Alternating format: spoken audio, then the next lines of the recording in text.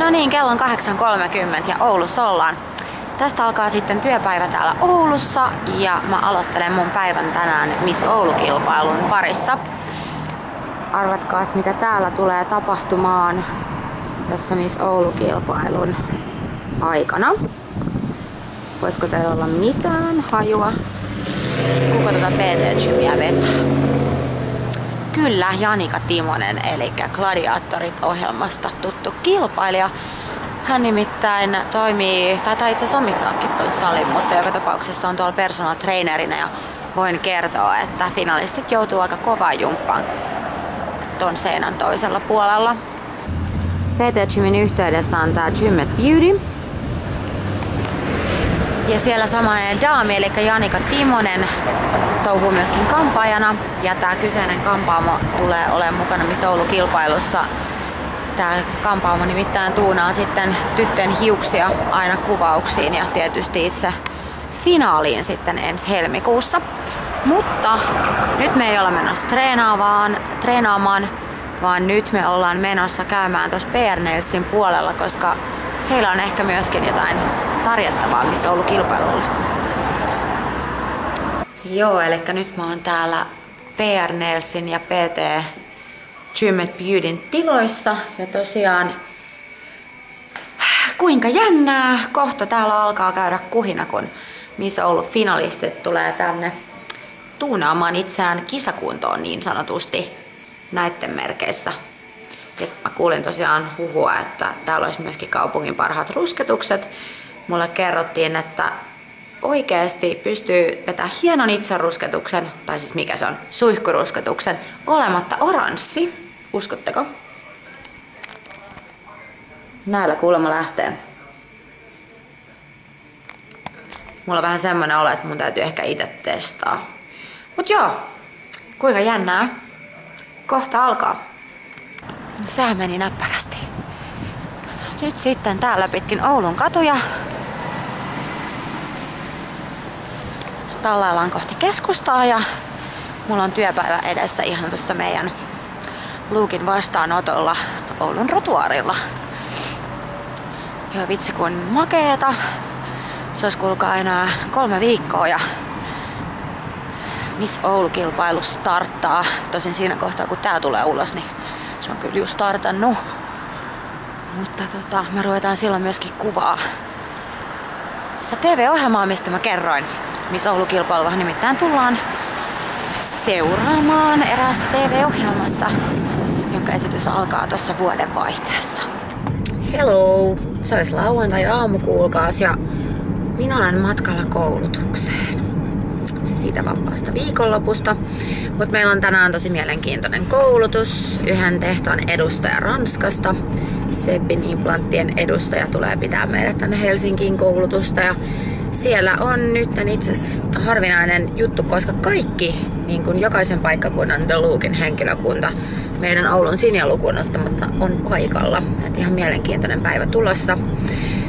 Vähän kyllä väsyttää ton eilisen jäljiltä. Heräsin 4.30 ja tulin kotiin sitten mitäköhän se olisi ollut, 21.30. Ei ollut mikään kovin rentouttava viikonloppu, mutta ei se mitään. Ei, ei. Tässä on meidän tämän päivän aihe, kuulkaas. Elikkä Sepin rintaimplantit. Tulossa kyllä oikeasti tosi mielenkiintoinen päivä. Meillä on täällä special vieras tehtaan edustaja tänään kouluttamassa meitä. Tämmönen lauantai meille tulossa, mutta hauskaa olla pitkästä aikaa kaikkien työkavereiden kanssa. Tai no ei nyt ihan kaikkien, mutta melkein kaikkien, melkein kaikkien työkavereiden kanssa. Vähän tämmöistä get together meininkiä myöskin tämän koulutuksen lisäksi. Ja me täällä hiplaillaan tissejä, kuulkaas täältä ne näyttää. Silikoni-implantti, Tällaiset mullakin on tuolla, kuten monella muullakin. Mutta joo, te tuutte kuulee näistä tosi paljon lisää mun vlogin jaksossa myöhemmin. Täällä niitä kuulkaa on. Paljon tissejä. Moikka moi! Täällä ollaan paluu rikospaikalle nimittäin. The Look Helsingin vastaanotto meikäläisen pääkallopalkka viimeisen neljän vuoden ajalta. Ja nyt tosiaan alkaa tilanne olla se, että mun ihana pieni vauvani alkaa ollakin jo niin iso, että mä alan tekemään paluuta vastaanottotöihin myöskin täällä Helsingissä. Ja se, mikä poikkeaa siitä, miten asiat ennen oli, on se, että mä en enää ole itse asiassa vastaanoton vastaava täällä Helsingissä. Mä keskitän energiaani tuolla Oulun päässä Oulun laajentamiseen ja täällä Helsingissä puhaltaa uudet tuulet. Kuten ehkä moni teistä tietää, tämä vuosi on ollut Helsingissä aika tuulinen, täällä on nähty paljon ja tota, nyt vihdoinkin alkaa asiat näyttää siltä, miltä niiden kuuluukin, koska me ollaan löydetty tänne Helsinkiin aivan mielettömän ihana johtohahmo. Mennään sisään. Mä esittelen teille uudistunutta Helsingin vastaanottoa ja Janikan. Jees, eli tässähän on Janika Timonen, meidän aivan ihana uusi johtohahmo täällä Helsingissä. Eli tosiaan se, mikä paljon poikkeaa vanhasta, on se, että pommon paikalla nykyään istuu hän. Ja mä tuun paljon vaikuttaa täällä Helsingissä tuutte näkemään mua töissä, mutta tosiaan meillä on vähän täällä nyt tämmönen uusi, uusi hierarkia niin sanotusti ja, ja tulee kyllä ihan mieletön yhteistyö Janikan kanssa täällä. Et mulla on tosi hyvät kuvat siitä, että Janika on tullut meidän tiimiin. Mut joo, mä esitin teille somessa tuossa vajaa viikko sitten sellaisen mahdollisuuden esittää mulle kysymyksiä liittyen mun työhön Suomen tunnetuimmalla kauneusklinikalla ja niitähän tuli ja paljon. Ja niitä tuli itse asiassa niin paljon, että mun on pakko tehdä tästä aiheesta kaksi erillistä jaksoa, koska niitä kysymyksiä oli silikoni-implanteista, botoksiin, täyteaineisiin, henkilökunnan koulutuksiin ja ihan kaikkeen, mistä mä mun työssä tykkään ja niin poispäin. Mutta me aloitetaan tänään. Mä oon ottanut siellä nyt semmosia kysymyksiä, mitä ehkä eniten on kysytty. Niin me aloitetaan niistä nyt. No niin, totuuden hetki. Mä avaan täältä mun Instagramin. Ja tosiaan laitoin sinne tämän kuvan ja sanoin, että kommentteja otetaan vastaan. Kysymys siis kuuluu, mitä te haluatte mun työstä tietää? Ja tänne tuli vastauksia direktinä tuli vastauksia Facebook ja Snappiin tuli vastauksia. Siitä syystä tämä tehdään kahdessa osassa. Mutta lähdetään nyt näistä. Täällä on paljon kysytty, että onko mun työ haastava. Haluuko ihmiset paljon sellaisia tuloksia, joita ei pystytä täyttämään ja näin poispäin. Siis kyllä mä sanon, että tämä työ kannasklinikalla on haastavaa ihan lähtökohtaisesti sen takia, että tässä on aika monta osa-aluetta yhdistetty meidän toimenkuvaan, että vaikka mä itse työskentelen konsulttina ja sit lisäksi meillä on täällä on kirurgit, lääkärit, sairaanhoitajat ja kosmetologit ja niin poispäin, niin kuitenkin me konsultit yleensä ollaan ensimmäinen kontakti, kenet ihminen tapaa täällä vastaanotolla ja itse työskentelen sekä kirurgisella puolella että injektiopuolella. Ja tota, sehän yhdistää sitten entisestään näitä toimialoja. Ja on olemassa tilanteita, kun me ei pystytä tietenkään täyttämään asiakkaan toiveita, mutta sen takia meillä on nämä maksuttomat konsultaatiot. Eli asiakas varaa konsultaation ajan, missä kartoitetaan hänen henkilökohtaiset toiveet, ajatukset ja myöskin sitten määrätään ne realistiset tavoitteet, mitä eri toimenpiteillä voi tehdä. Aika harvoin tulee sellaisia tilanteita, että ei pystytä mitään tekemään tai yhtään ei niin kuin nämä ajatukset kohtaa asiakkaan kanssa, mutta tietysti on olemassa tilanteita, että on ehkä liian suuria oletuksia, odotuksia, ei ehkä ymmärretä sitä, että mitä esimerkiksi yhdellä hoitokerralla voidaan saada aikaan tai sitten, että mitä tietyllä toimenpiteellä voidaan saada aikaan tai että tietynlainen lopputulos saattaa vaatia useampia toimenpiteitä. Yksi sellainen polemiikki usein tai no sanotaan näin, että ei usein tule vastaan, mutta ajoittain tulee vastaan on myöskin se, että ei ymmärretä ehkä sitten ihan sitä, että kun sä lähdet leikkaukseen, se on askel numero yksi. Siitä se koko matka vasta alkaa. Ja oikeastaan se, että saavutetaan se lopputulos, niin vie useita kuukausia, joskus jopa pidemmänkin aikaa. Et enemmän ehkä tämmöisiä, tämmöisiä niin kuin, ää, miten sanotaan, voiko sitä sanoa ongelmaksi? en mä tiedä. Enemmän niin ehkä niin kuin tä- tämmöisiä näkemyseroja on asiakkaiden kanssa, että, että klinikka on ollut olemassa yli 25 vuotta eikä suotta, että, että kyllä me hyvin pystytään asiakkaiden kanssa kommunikoimaan ja kertoa, että mitä on odotettavissa mistäkin toimenpiteestä ja minkälainen toipumisaika siihen sitten myöskin vaaditaan. Ja yleensä sitten kun nämä asiat kertoo tälleen rehdisti ja reilusti, niin minkälaisia ongelmia myöskään ei tule. No, sitten ollaan paljon myöskin äh, kysytty fitness boomiin liittyviä asioita. Yksi hyvä kysymys täältä löytyi mun mielestä, tai siis monta hyvää kysymystä, mutta yksi sellainen, minkä mä haluan teille lukea. Eli täällä kysellään, että nyt kun fitnessboomi on huipussaan ja ihmiset treenaa itseään kuntoa ja pudottaa painoa huikeita määriä, niin on välillä tilanteita, kun vartalo ei sitten pysykään mukana. Esimerkiksi täällä on asiakas, joka on tiputtanut yli 50 kiloa painoa ja sehän tarkoittaa sitä, että kun rasva on lähtenyt, niin kudos ei välttämättä olekaan pysynyt perässä. Etenkin vatsanahka, rinnat ja kasvotkin roikkuu sekä reidet ja kädet. Eli tämä on itse asiassa aika yleinen ongelma, mitä kohdataan sekä hurjan painonpudotuksen tehneiden ihmisten keskuudessa että myöskin joillain synnyttäneillä naisilla.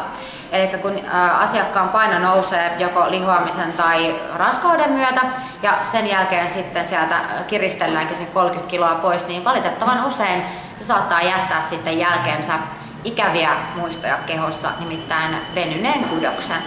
Ja venyneeseen kudokseen ei valitettavasti parhainkaan PT mitään pysty tekemään. Siinä kohtaa ainoa vaihtoehto on silloin kirurgin peitsi. Eli silloin jos on kudos äärimmäisen venynyt, eikä siellä juurikaan ehkä rasvaa enää ole, niin silloin puhutaan sitten erilaisista kiristysleikkauksista. Ja tota, abdominoplasti, eli vatsanpeitteinen kiristys, onkin yksi meidän klinikan tehdyimmistä toimenpiteistä. Ihan niin nuorilla laihduttajilla, äideillä kuin sitten myöskin vanhemmilla rouvilla ja myöskin miehillä. Mutta kyllä, joskus se on näin, että ihan kaikkeen ei myöskään niin kuin pelkäs hyvät ruokavalio ja treenivinkit aina auta, että sen takia me olemme olemassa. Sitten mulla ollaan myöskin paljon kyselty, että mikä on mun liikuttavin asiakaskokemus. Ja mä voin sanoa, että näihin vuosiin niitä mahtuu paljon. On hetkiä, kun me ollaan itketty asiakkaiden kanssa onnesta, onnistuneiden toimenpiteiden jälkeen. Ja on myöskin hetkiä, kun me ollaan kimpassa lähdetty tekemään tämmöistä niin sanottua muuttumisprosessia. Esimerkiksi niin kuin rankan avioliiton päättymisen jälkeen, kun naiset tulee hakemaan itsetunnolleen kohennusta tai jos on ollut takana esimerkiksi rajupainopudotus tai näin, että niitä niit on tosi, tosi, tosi, tosi paljon.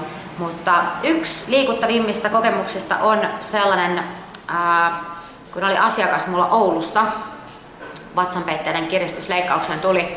Hän oli käynyt Suomessa kilpailevalla klinikalla joskus aikanaan vatsanpeitteiden kiristysleikkauksessa jonka seurauksena hän oli saanut vatsansa kuolion.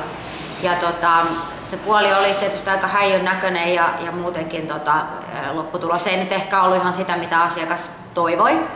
Ja asiakas hakeutui meidän vastaanotolle ja tota, päätettiin sitten yhdessä, että lähdetään toimenpiteeseen meidän, meidän kautta tuonne meidän Kreikan klinikalle ja siellä sitten asiakkaan vatsa saatiin hyvän kuntoon ja arvet siistettyä ja viimeiset merkit kuoliosta poistettu. Ja mä muistan, kun tämä asiakas tuli jälkitarkastukseen kyynel silmässä ja että kuinka niin kun Tiina, Jylhän, Tiina Jylhä on enkeli ja minä olen enkeli ja tämä klinikka on pelastanut hänen elämänsä. Mä sanoisin, että se oli ehkä niin kuin kaikista kaikkein liikuttavin, vaikka näitä kyllä niin kuin mahtuu monta. Että on paljon hienoja, hienoja hetkiä ollut kyllä asiakkaiden kanssa. Joo, no noista hyvistä jutuista voisi jatkaa vaikka kuin pitkään, koska niitä tosiaan niin kuin 98 prosenttisia kokemuksia nimenomaan klinikalla työskentelystä on nämä ihanat ihmiset.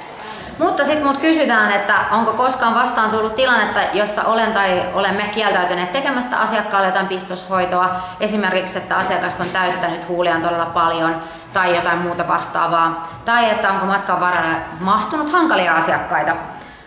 No voi kuulkaa, niitäkin kyllä mahtuu, mahtuu tähän, tähän uraan aika paljon. Että totta kai se on ala kuin ala. On kaikissa aina ne positiiviset puolensa ja myöskin negatiiviset puolensa. Mä en valehtele, etteikö, ettenkö mä olisi työssäni joutunut kohtaa hankalia hetkiä, ikäviä asiakkaita ja oikeasti niin joskus jopa pahoittanut mieleni asiakkaiden sanomisista tai sitten niin kuin ihan joutunut ihan risti tuleen jonkun asiakkaan sanomisista tai tekemisistä. Et valitettavasti tämmöisiä tapauksia on ollut. Ja tota, on ollut myöskin tilanteita, että olen joutunut kieltäytymään minä tekemästä injektiohoitoja tai sitten, että joku meidän hoitajista on joutunut kieltäytymään ja myöskin leikkauksista ollaan jouduttu kieltäytymään. Lähtökohtaisesti nimittäin Kaunas-klinikalla meidän ajatushan on korostaa ihmisen parhaimpia puolia ja korjata niitä niin sanottuja pieniä virheitä, ei suinkaan muuttaa ihmisestä täysin erinäköistä. Ja joskin kaikilla meillä on oikeus luoda itsestään just semmoinen kuin tavallaan Villemmissä unelmissaan toivoo, mutta kyllä meillä niin moraali tulee jossain kohtaa myöskin vastaan, että tietyt rajat mekin vedetään sitten omalta kannaltamme, että siihen me ei voida ottaa kantaa, että josko joku asiakas menee sitten toiselle klinikalle tekemään toimenpiteitä, mitä me kieltäydytään tekemään, mutta meille asiakkaan terveys on aina prioriteetti numero yksi. Jos on pienintäkään estettä leikkaukselle, puhutaan lääkityksistä tai henkisestä tai fyysisestä kunnosta, niin se voidaan määrittää esteeksi leikkaukselle. Myöskin tietysti sitten injektiohoitoihin on olemassa niin tietyt kontraindikaatiot, milloin hoitoja sitten ei tehdä. Ja tietysti myöskin sitten se, että me mietitään tällaisia asioita, että jos huulia on täytetty ja täytetty ja täytetty, niin kyllä se raja jossain kohtaa niissäkin sitten tulee vastaan, että kuoli on vaaraan kuitenkin aina olemassa. Mutta tota, tästäkin mä voisin jatkaa vaikka kuinka pitkälti, mutta tota, sanotaan lyhykäis- lyhykäisyydessään, että kyllä, olemme kieltäytyneet myöskin tekemästä hoitoja asiakkaille. No niin, täällä ollaan Kruuno Haassa Studio Momento ja tänään on se päivä, kun mun kulmakarvat vahvistetaan puolen vuoden jälkeen. Ja Kristiina täällä odottaa mua. Jee! Yeah. Muutamia kohtia, mistä on ehkä lähtenyt. Mutta muutenhan ne on, malli on jo siinä. Sitten vaan tehdään. Siellä on nyt ensimmäinen vahvistus kerros tehty.